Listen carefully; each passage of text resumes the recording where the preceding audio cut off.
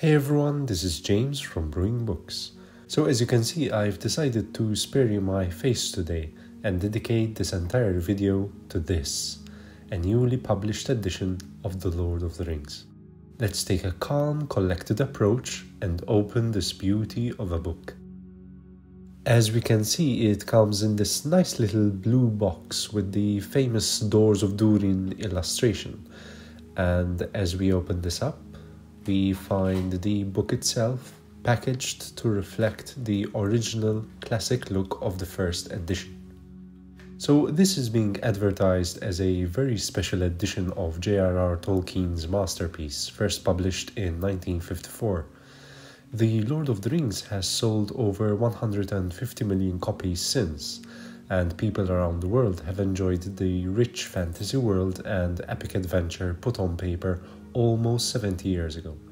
And I wouldn't be surprised if the publishers have some new edition planned for 2024 in honor of this anniversary.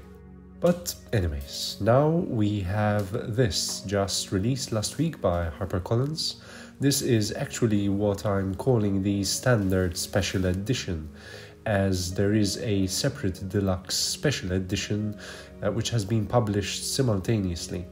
And another video review on that particular edition will be posted once I have received my own copy.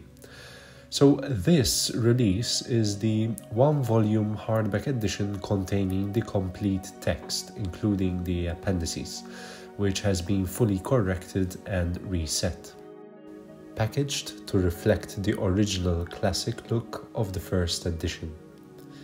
Readers of Tolkien will recognize the familiar motif of the Eye of Sauron, circled by the ring inscription, and with a nice touch including Tolkien's signature down here. Uh, the usual gold motif on the inscriptions and designs is reflected here too, as with other Tolkien hardback editions. And behind the dust jacket, we find a circular cutout that allows a view to Sauron's eye on this gorgeous, gorgeous plain hardcover. I mean, really, just holding this book in my hands is giving me chills right now, to be honest. So once we open up this book, uh, as with the majority of Tolkien books, there are also two fold-out maps of Middle-earth, drawn by Christopher Tolkien, with this uh, different feature which allows one to remove the maps and admire them with as much intricacy and wonder as they rightfully deserve. Uh, in this case, we have the overall map of Middle-earth, and at the back we have a closer look at the areas of Rohan, Gondor, and Mordor. Uh, the end sheets are covered in this delightful maroon color, and inside you will notice that the text has been printed on two colors, red and black, as per the original publication. Together with this, what makes this particular edition unique is the inclusion, for the first time, of 30 illustrations, maps, and sketches, all drawn by Tolkien himself. Reproduced in high quality color, I must say, having this additional touch from the author himself complements the epic work and text with equal gravitas. An added feature which is of interest is this delightful ring inscription design cleverly printed along the entire thickness of the book pages.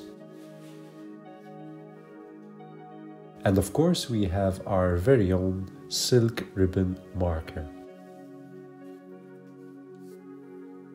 As I said, this is the first of two new editions of The Lord of the Rings. The other, much more costly edition is being advertised as a unique edition in itself, promising the usual never before seen features, but all about that in another video.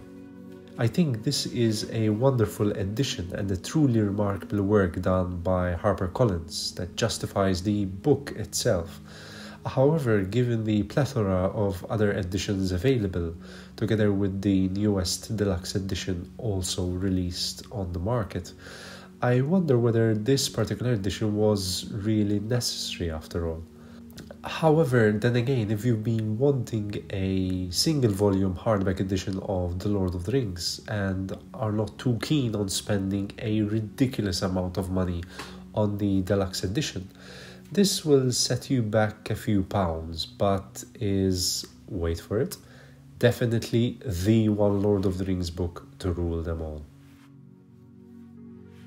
And that's the end of this video. Thank you, all of you amazing people out there who keep on liking, commenting, and subscribing to this channel. You're all awesome and wonderful. And that's all for today. I hope to see you next time. Cheers.